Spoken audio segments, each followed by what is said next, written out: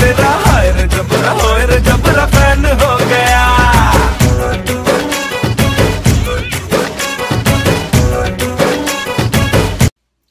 this is Melanie, movie maven gal. I saw a Tamil film tonight that was amazing. Vikram Vedha with Madhavan and Vijay Sethupathi. ஒரு கதை சொல்லிட்டேன் sir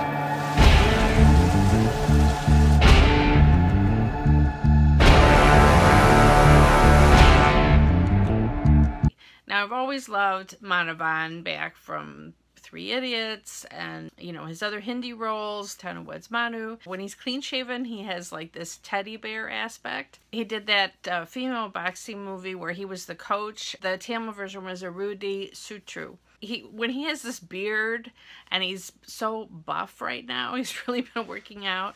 He looks like a big bear. I don't know. so instead of a teddy bear, he's more of a bear. And I think he's been really great in picking scripts that are so good for him. He's very good at comedy. He's had his time doing, you know, the romance films when he was younger, but the last couple of films have been really great and I like the direction he's he's taking his career. Anyway, VJ I had seen in the fantastic horror film Pizza. If you have never seen the Tamil film Pizza, cannot recommend it highly enough. It is one of the few Indian horror films that actually scared me. It was a, you know, I mean, I was really jumped out of my seat. That was a very clever film. The woman who plays Madhavan's wife, Vikram's wife in the film, she's an attorney and her name is Shraddha Srinath. The actress was making me crazy and I checked who she was during the interval.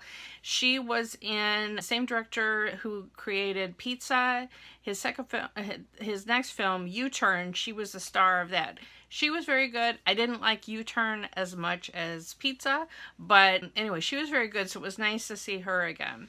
So it's a crime gangster drama, but I loved the framing device of the film. So Madhavan is the cop and Vedha is the gangster but the film starts first the credit sequence shows sort of a an animated sequence of this mythical king and then he's told that all these things are happening to his kingdom. He has to go and defeat a demon. And then the demon captures him and says let me tell you a story. And so evidently this is a folk tale it's a folk tale device. You know for there's a series of stories that are based on this so then we go into the story and we see our king, which is Madhavan, who is like a encounter specialist, I guess is the term in the in the police.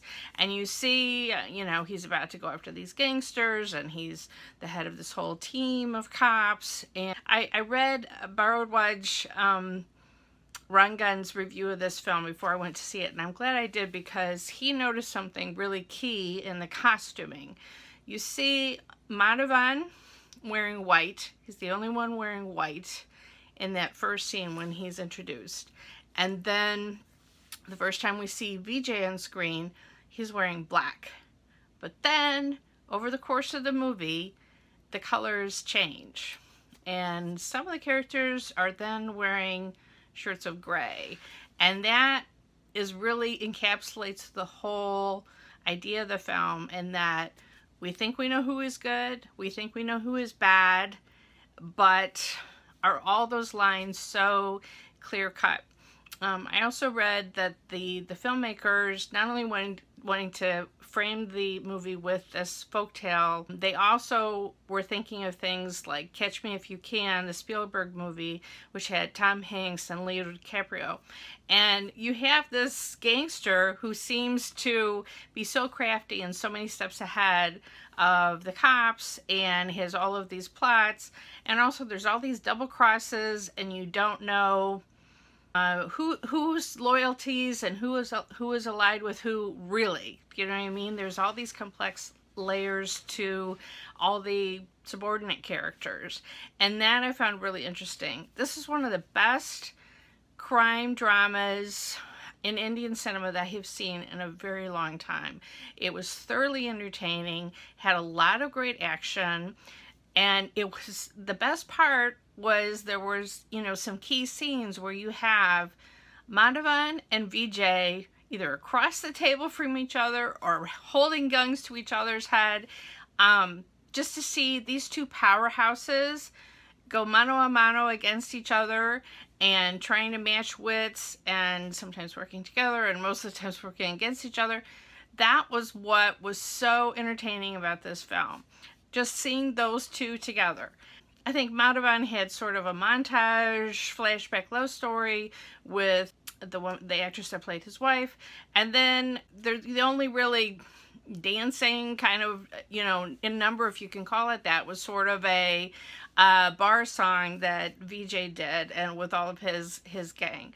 So not this is not a music centric film. This is this is an action gangster caper and so entertaining I'm I'm going to it on a Tuesday night it's only playing in very few theaters in the Chicago area. So it wasn't playing at the close theater near me that sometimes has Tamil films. I had to drive 45 minutes away. Evidently it was discount night or something because this place was mobbed. I was going to this screening and I had to sit in the very front row. It was assigned seats.